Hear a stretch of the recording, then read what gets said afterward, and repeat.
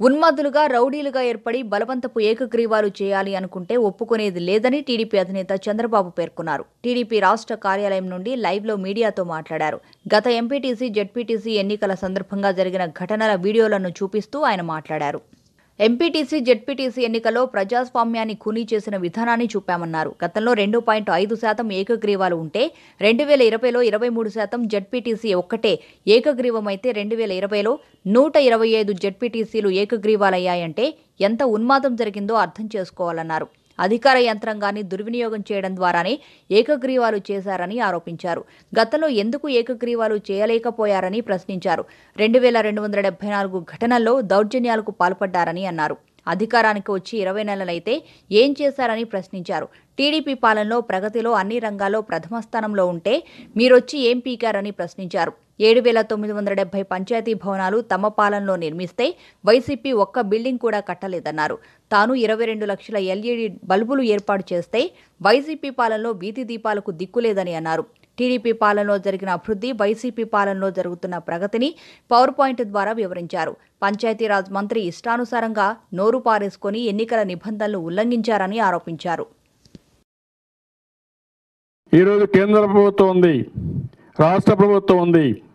స్థానికంగా పంచాయతీలో పంచాయతీలు ఉంటాయి వాళ్ళు కూడా రాజ్యాంగ పరంగా ఏర్పడిన ప్రభుత్వం మారిగా గ్రామ సచివాలయం అన్నారు మీరు. ఈ గ్రామ సచివాలయం కాన్సెప్ట్ ఎప్పుడు నేను పెట్టాను. ఈరోజు ఒకటే ఆలోచిస్తున్నాం. గ్రామ స్వపరిపాలన లోకల్ సెల్ఫ్ గవర్నమెంట్ దీని ద్వారా గ్రామాలను అభివృద్ధి చేసుకునే అవకాశం కల్పించాల్సిన అవసరం ఉంది. ఇరవై ఒక నరేగాలో పదివేల కోట్ల రూపాయలు మినిమం సంవత్సరానికి డబ్బులు వస్తున్నాయి. ఐదు సంవత్సరాల్లో యాభై వేల కోట్ల రూపాయలు.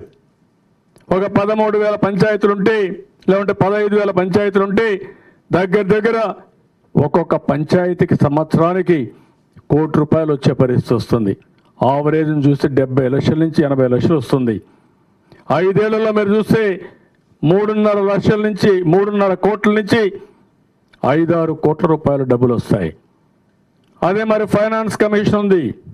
ఫైనాన్స్ కమిషన్ ద్వారా నేరుగా పంచాయతీలకే డబ్బులు వస్తాయి రాష్ట్ర ప్రభుత్వం కూడా డబ్బులు ఇవ్వాల్సిన అవసరం ఉంది. ఇది కాకుండా ఇంకొక పక్కన ఆ గ్రామంలో వనరులన్నీ కూడా ఇంటి పన్ను కానీ నీరు కానీ ఇంకోటి కానీ ఇవన్నీ వసూలు చేసుకుంటే ఇవన్నీ కూడా సమర్థవంతంగా పూల్ చేసి ప్రజల భాగస్వామ్యంతో మనం ముందుకు పోతే ఒక మంచి సుపరిపాలనకు నాంది పలుకుతాం. అందుకని ఫస్ట్ సురక్షితమైన మంచినీరు రెండోది భద్రత ప్రశాంతతకు భరోసా.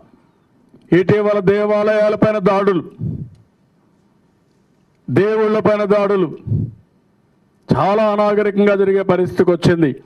నేను అడుగుతున్నా నేను రామతీర్థం కానీ పోకుండా ఉండుంటే వీళ్ళు కంట్రోల్ చేసేవాళ్ళని అడుగుతున్నా. ఈరోజు కంట్రోల్ అయ్యారు లేదు మీరు? ఎందుకు నూట ఇరవై ఐదు దాడులు జరిగాయి? ఈరోజు ఎందుకు నిలిపేశారు?